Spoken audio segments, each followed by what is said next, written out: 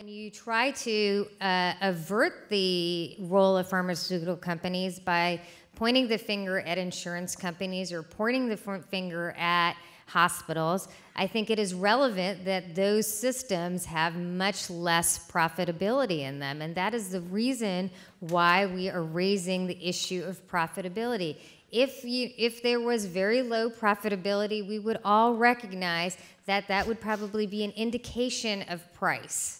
Let's say, But that variability is why I think there is a lot of anger at high drug prices. response from the other well side. I mean, we Paul should Howard. return, of course, to the question of the debate, which is, should we be blaming pharma for runaway drug, runaway healthcare costs? Out of control Right, right. costs. Uh, Thank you. Out of control. Out of control, running away. So, look, it's 16%. It's going to stay at around 15, 16%. Look, 500,000 people were hired in the healthcare sector last quarter. It's not the profitability, it's the base spending that you're talking about, and we're spending much more on hospitals and physician services. So, even if a lower rate of increase on a bigger base turns out to be more money, that's why it stays level over time. No, Again, great question. That really moved things. Thank you. Uh, uh, Zeke, you, you've been really cooperative lately. do you want to do you want to respond to the? Am I? St- This So- is so- well behaved, Uh, just for the record. This is, this is as well behaved as I get. So, look, I think if we want to talk about solutions to the problem, we're happy to talk about solutions. You know, we do agree with Paul that you need to streamline the FDA and they do need to get more resources to approve generic drugs and other drugs more rapidly. As Neera has said, we need more transparency about what goes into that price. How much is government research? How much really is that company's research? How much is the marketing? How much is the profit? And we believe that you should tie the pricing of drugs to how much benefit they produce for patients, including whether they forestall a surgical procedure and forestall a hospitalization. Drug companies don't price according to that how much health benefit drugs get. Because if that were true, you would not get $150,000 cancer drugs or multiple sclerosis drugs that don't cure anyone and prolong life two or three months. We want innovation. All of us want innovation. That doesn't mean we want sky high $150,000 drug Lori- prices. Lori Those Reilly are to two respond. separable issues. Lori Reilly.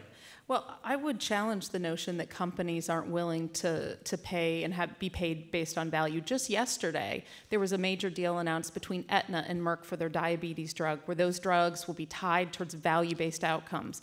Amgen and Pilgrim entered into a contract just a few months ago on their new PCSK9s. As a representative of pharma, would you agree, would you endorse the idea that we should have all drug pricings be value-based pricing? If you agree, we are on the same side, and I'll move over there. I,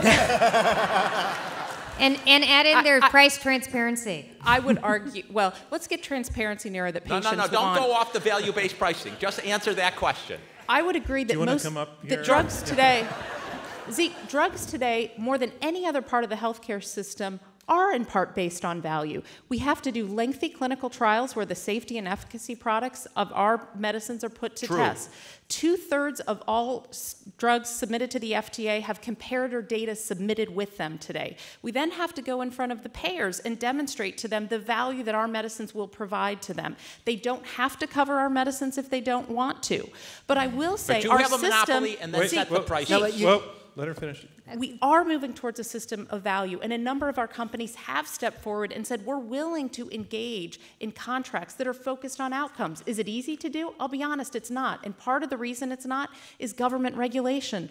Government regulation is stuck in a fee for service world, and we're moving towards a value based system. So I would hope and ask you if you would agree with us that changing some of the current government regulations about how we communicate about our products, what we can do to support patients and ensure they're adherent, are addressed so that we can move more rapidly to that system.